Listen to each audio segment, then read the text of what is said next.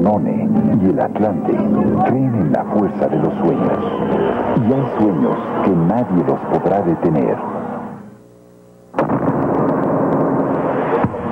Ya lo vio, Beto salta y rompe con la cabeza. La recibe el parador y la mata con el pecho. La uno, dos, La peina para el Por eso Danone y el Atlante apoyan el torneo de niños de la calle, jugando rumbo a Francia 98.